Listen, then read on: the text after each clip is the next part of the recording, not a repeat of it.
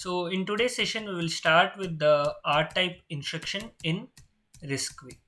So R-type instructions in the RISC-V architecture are used for the arithmetic and logical operations between the registers. Okay, so R-type instructions are the instructions where the uh, where the instruction is where the operations are performed between the registers.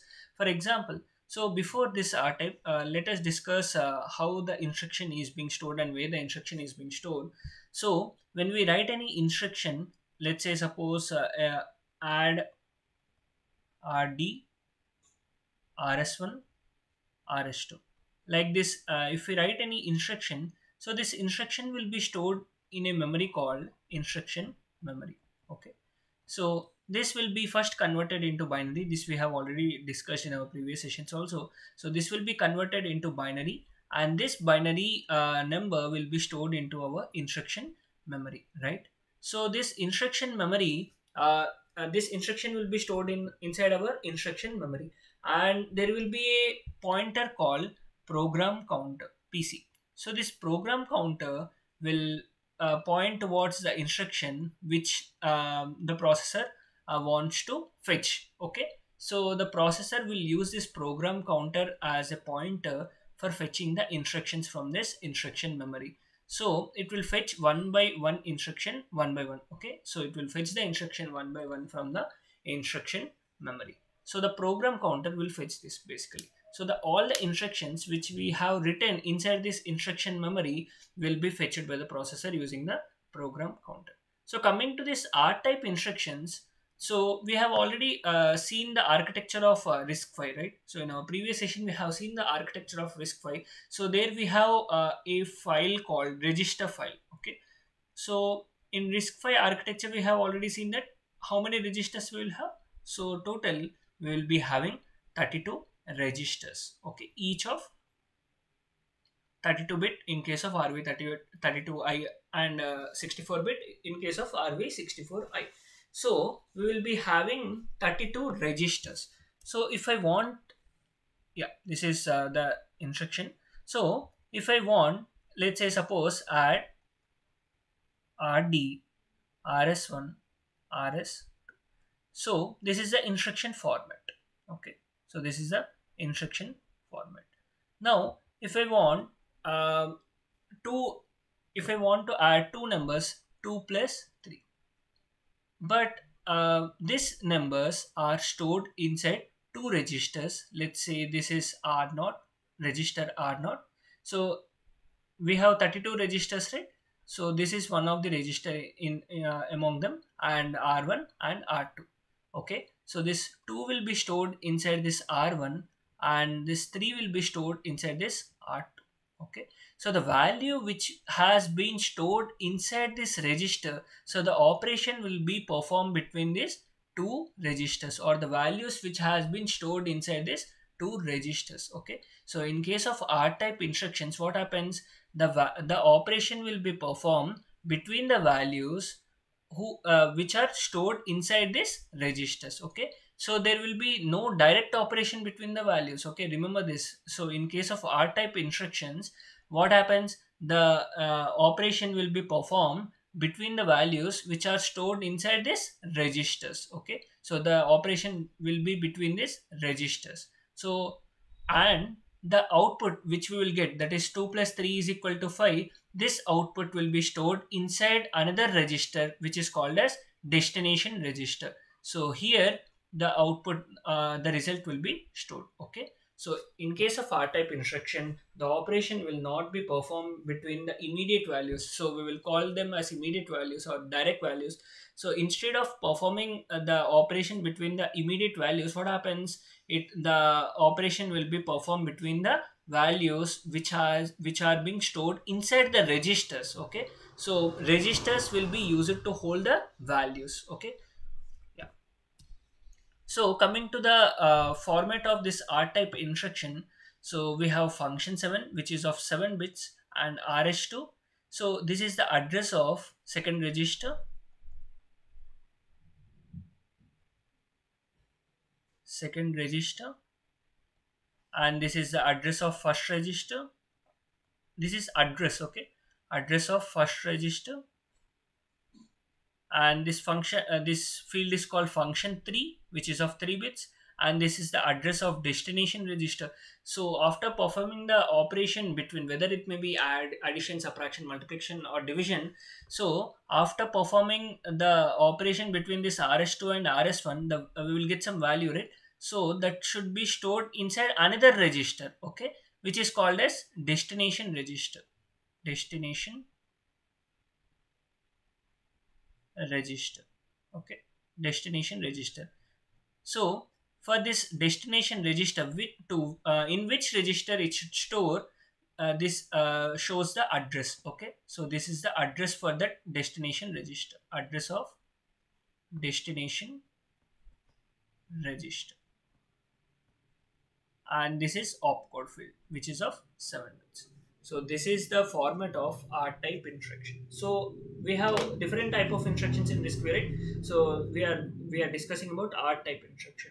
So this is the format of R type instruction. Function 7 which is of 7 bits, RS2 5 bits, RS1 5 bits, function 3 3 bits, RD 5 bits and opcode 7 bits. RS2 is not uh, nothing but source 2 which is nothing but source register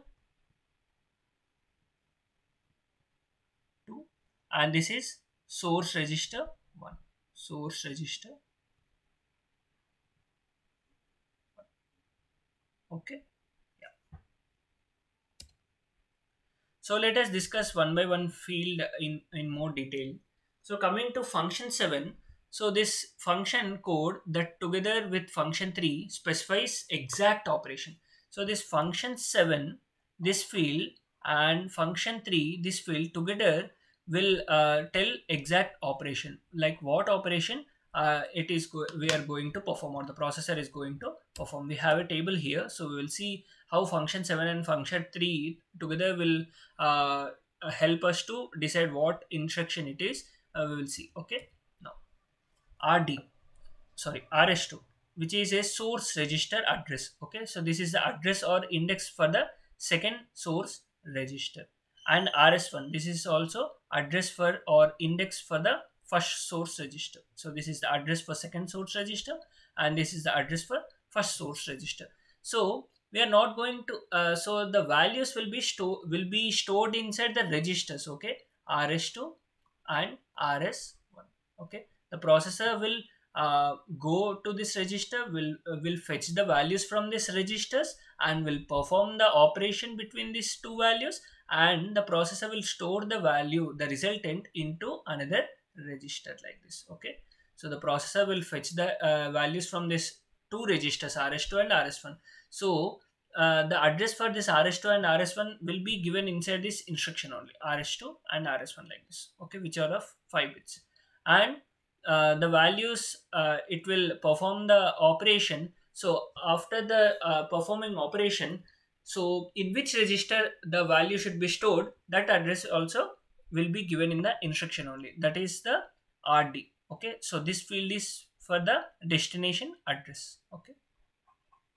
Now function 3 so function code that together with function 7 specifies the exact operation okay? And opcode so specifies the type of the operation. Example, arithmetic, logical. Okay. So this opcode is used to indicate which type of operation we are uh, we are going to perform. So the opcode for R type instruction is always 0 So in uh, while developing the Verilog code also we are uh, going to see this so the opcode for R type of instruction will be 0110011. So we will write the case statement like uh, if we have seen the uh, specific opcode, uh, then we will come to know that uh, it is a R type instruction. So for uh, for different instruction like I type instruction, the opcode may change. Okay. Now let's see uh, this table. So which is describing more about this.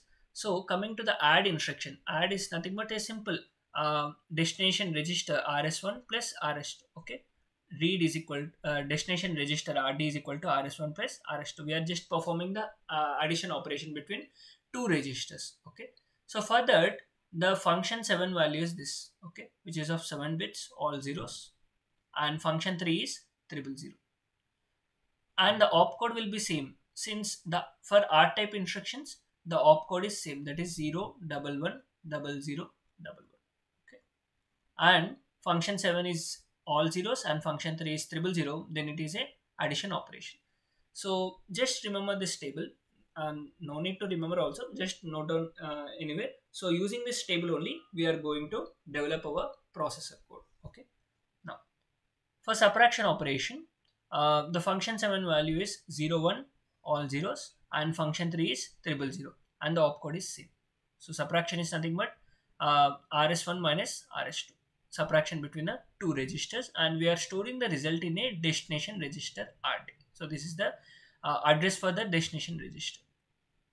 Now this is shift left logical. Okay.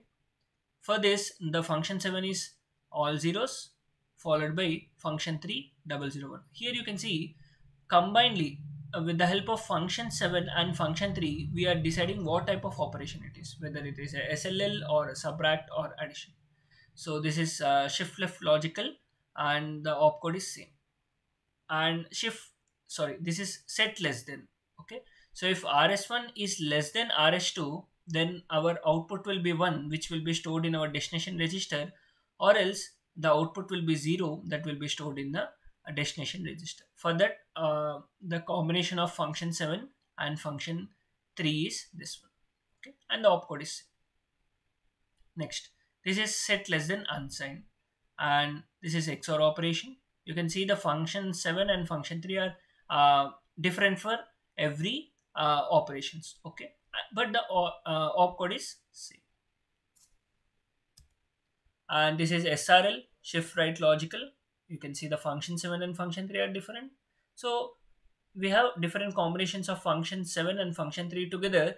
These are uh, together uh, they are uh, they are deciding which type of instruction it is. So what happens? So we will having uh, a unit called control unit. Okay? So we will be having we will be developing this unit called a control unit. So in that we are going to uh, decide the type of instruction. We are going to decide the type of instruction using this function 7 and function 3 and the opcode. Opcode is so opcode is a broad category. So if opcode is uh, some uh, 0 double 1 double 0 double 1 then we will come to know it is a R type instruction. So in this R type instruction what kind of operation we are going to perform. So this will be decided by our control unit using the help of this function 7 and function 3 okay. So this is about R type instructions in RISC-V processor. So I hope it is clear and you have got the clear idea about R type instructions in RISC-V so yeah so that's all for today's session. Thank you